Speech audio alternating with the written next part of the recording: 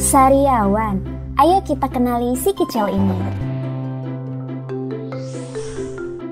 Aduh ibu, mulutku sakit, susah makan, buat ngomong juga sakit. Coba mana ibu lihat? Ya udah yuk kita periksa ke dokter gigi. Halo adek, sakit apa? Ini dong, mulutku sakit. Oh, ayo coba dokter periksa dulu. Yuk, buka mulutnya. Hmm, ada sariawan nih, pantesan sakit. SAR atau yang biasa disebut dengan sariawan merupakan luka yang sering ditemui di dalam mulut. Biasanya berbentuk bulat, bagian tengahnya berwarna kuning keabu-abuan dan memiliki batas yang merah. Selain itu, SAR juga terasa nyeri. Sariawan ini biasanya dialami oleh anak-anak dan akan berkurang tingkat keparahan dan frekuensinya seiring bertambahnya usia. Luka di dalam mulut ini biasanya akan sembuh selama beberapa hari atau minggu. Kira-kira apa ya penyebab sariawan itu? Penyebab sariawan sampai saat ini belum diketahui secara pasti. Namun, ada beberapa faktor pencetus yang dianggap berhubungan dengan sariawan. Kalau gitu, faktor-faktornya apa aja ya? Yang pertama ada keturunan. Anak dengan riwayat keluarga yang pernah mengalami sariawan beresiko lebih tinggi mengalami sariawan. Yang kedua ada trauma lokal. Trauma karena menyikat gigi terlalu keras atau karena makan makanan yang tajam. Yang ketiga, kekurangan hematinik, yaitu kekurangan zat besi, asam folat, vitamin B6, dan B12. Yang keempat, kebersihan mulut yang buruk dan banyak gigi berlubang beresiko lebih tinggi timbulnya sariawan. Yang kelima, ada penyakit sistemik.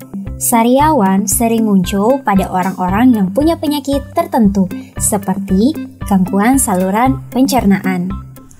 Lalu, yang keenam ada stres. Stres juga dapat memicu terjadinya sariawan karena dapat menurunkan sistem imun.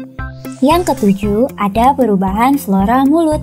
Sariawan juga bisa terjadi karena ada perubahan antara kuman baik dengan kuman jahat di dalam mulut.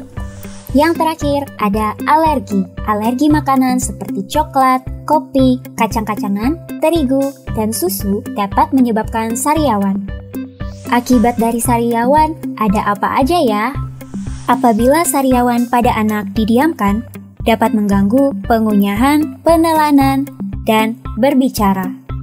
Nah, untuk pengobatannya dengan menggunakan salep sariawan. Namun, pemberiannya tetap harus sesuai anjuran dokter gigi ya. Nah, bagaimana sih supaya sariawan tidak datang lagi?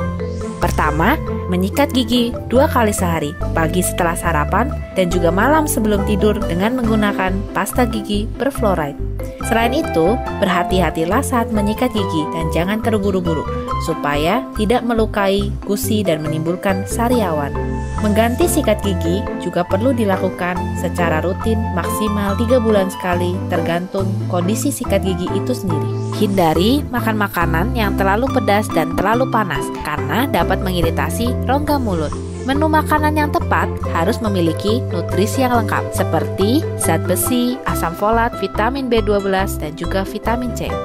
Nutrisi ini dapat diperoleh dari daging, sayuran hijau, buah, dan susu. Adik-adik, jangan lupa untuk rajin mengkonsumsi air putih secara rutin supaya tidak timbul sariawan oleh karena mulut terasa kering.